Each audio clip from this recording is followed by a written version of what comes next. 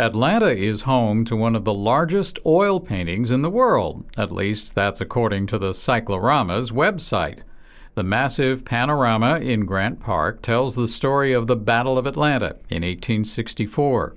And as Tasnim Shamma reports, to truly claim the status of largest oil painting, it will need to move. If you want to know exactly how impressive this fancy cylinder is, just ask Yakingma Robinson. The painting is 358 feet in circumference, stands at 42 feet tall, give or take an inch. It currently weighs 9,334 pounds. It also You get the picture. It's huge. Robinson gives tours of the Atlanta icon. Which, if laid completely flat, would parallel a football field. But still, it's not quite big enough. The current title of largest oil painting in the world is held by a Union state, Pennsylvania. Their cyclorama of the Battle of Gettysburg is just a little bit wider than Atlanta's.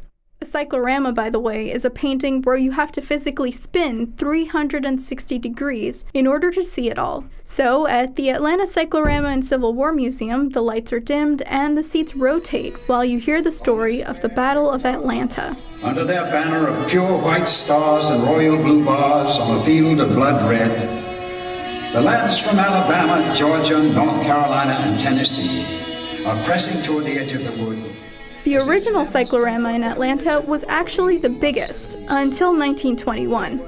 That's when the city moved it into its current home and cut out about 10 feet of sky. These large cylindrical oil paintings were the precursors to movies.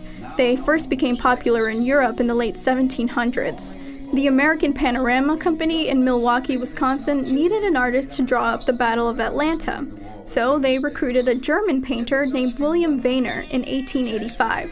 Yakingma Robinson says it took Wehner two years to paint the Atlanta cyclorama.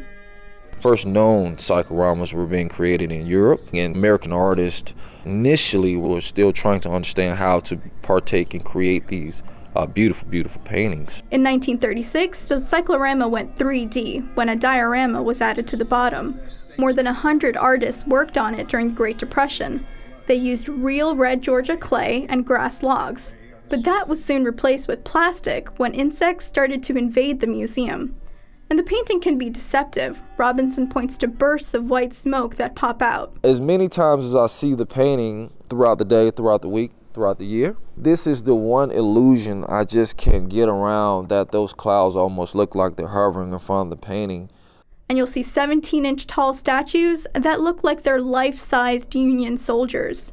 There's also two brothers over here to our right. You'll see one giving the other a drink of water out of the canteen, one representing the Confederate side of the line, one as a Union soldier. Uh, that is the Martin brothers of Tennessee. Now, it's one of the more romanticized stories about brothers fighting brothers in the Civil War, but a scenario that occurred more often than none if you look closely, you'll even find a few key characters. One of them looks like a red blob.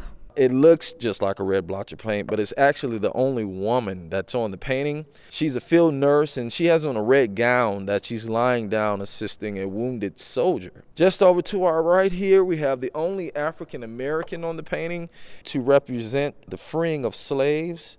However, we all know that there were a little over 200,000 African Americans that served in the Civil War, and definitely a lot more women on the front lines than what we see in the painting. But again, just a depiction of the mentality of Americans at the time.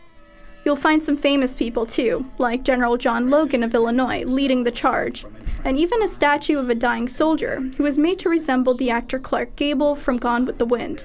Georgia may have lost the Civil War, but it can once more regain its glory and steal back the title of owning the largest oil painting in the world. Once the cyclorama moves, it can add some of the lost sky. Monica Prothero is with the city of Atlanta. The plan is to add back the parts of the painting that was removed in the new home to make sure that the cyclorama is restored so that it is around for future generations and another 100 years. Mayor Kasim Reed announced in July that the painting will move to the Atlanta History Center. You can see the painting in Grant Park until June. Tasnim Shamma, WABE News.